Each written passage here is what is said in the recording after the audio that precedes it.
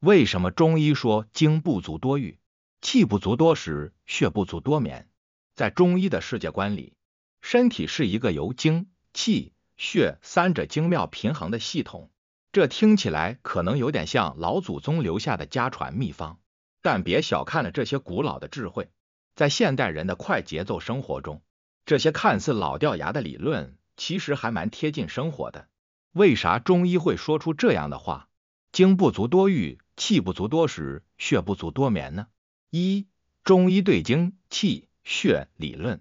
中医学里头有这么一套说法：人的身体好比一座园林，而精。气血就是维持这座园林繁盛的三大支柱。精是指人体内的一种基本物质，负责滋养全身；气可以理解为人体内的动力，推动身体的各种生理活动；血则是营养和滋润全身的流体。这三者相辅相成，缺一不可，咱们的身体才能和和美美的运转。二、精不足与多欲现象的内在联系。提到精不足多欲。你可能会想，这不是矛盾的吗？按理说精足了才会多欲啊。但中医的观点是，肾藏精，精能生髓，上冲脑海，关系到人的生殖和生长发育。精不足，就像是园林里的水源干涸了，本应滋润的花花草草就会枯萎。这时候，人的身体就会本能的寻找补救的办法，表现出对水源的渴望，也就是欲望。这欲望并不是实质的满足，而是一种身体的求救信号。你看，肾精亏虚的人，往往意志不坚，心火上浮，压不住那颗躁动的心。这时候，心里那个小魔鬼就会趁虚而入，让人容易被欲望所左右。所以啊，当你发现自己总是想住那档子事时，可别沾沾自喜，这可能是你的身体在暗示你，我的肾精不足了。中医会建议两条路：一是要懂得节制，别让欲望成为消耗你肾精的无底洞；二是要补充肾精，让它去压制那无端的心火。至于怎么补，中医有一套方子，比如五子衍宗丸，但这得在专业医师的指导下进行，毕竟补也是一门大学问。三、气虚引发的饮食过量问题，在中医理论中，气是推动身体所有生理活动的动力。可以说是身体的劲，脾胃是气的源泉，好比是一个家庭的厨房，气虚就相当于厨房的火力不足，食物难以转化为身体所需的能量。当气虚时，人体会出现一种本能的补偿机制，那就是增加食物的摄入量，以期望通过增加能量的供给来弥补气的不足。但问题是，气虚的人吃的多，并不等于吸收的好，这就像是。你的炉火不旺，不管往锅里加多少柴火，煮出来的菜也是半生不熟。所以气虚的人往往吃得多，但营养吸收效率低下，身体状态依然差强人意，这就形成了一个恶性循环。这时候中医会建议调整饮食和生活方式，比如说少吃生冷油腻，多吃一些温补的食物，像是黄芪、党参等，它们可以帮助健脾益气。中医方剂中，四君子丸就是一个经典的例子。它由人参、白术、茯苓、甘草组成，旨在补充气血、增强脾胃的功能。这方子在现代研究中也得到了一定的关注和研究。有文献指出，四君子丸中的药材成分能够促进胃肠道蠕动，提高消化吸收效率，对于改善气虚有一定的科学依据。四。血虚与过度睡眠的相关性。再说说血不足多眠的问题。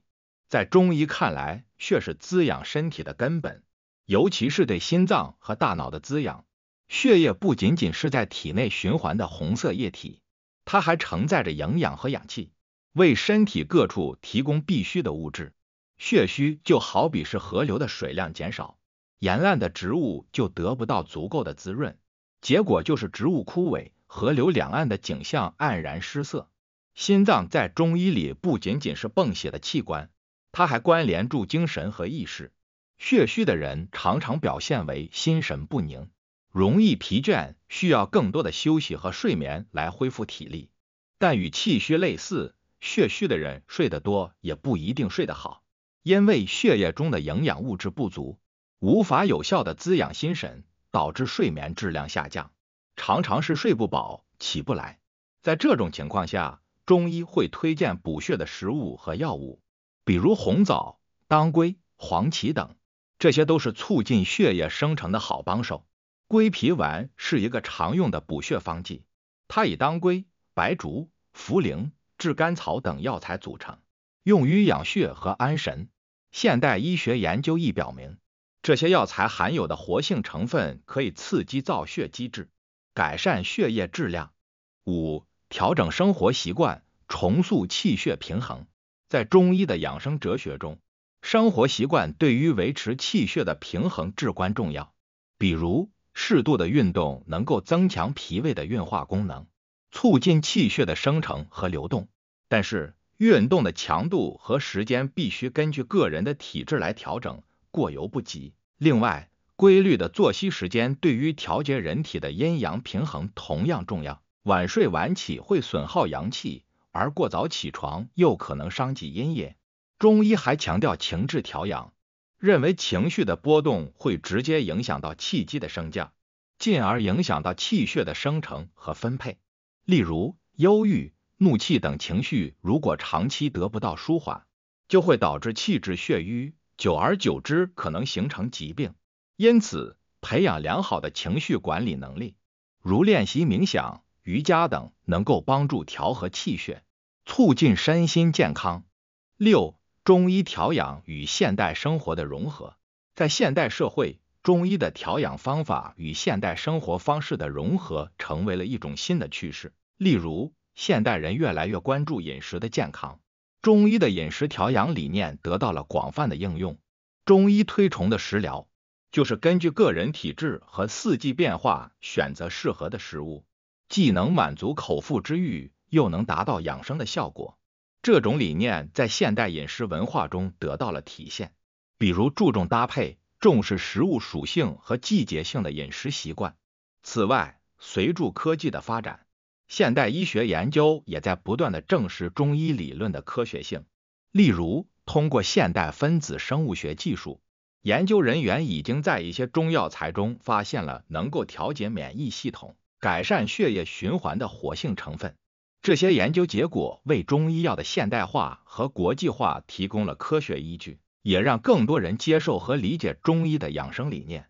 在追求健康的道路上，我们不妨放慢脚步。倾听身体的声音，适时调整自己的生活方式和饮食习惯。同时，我们也应该开放心态，接受不同医学体系的优势，让传统智慧与现代科学相结合，引领我们走向更加健康和谐的生活。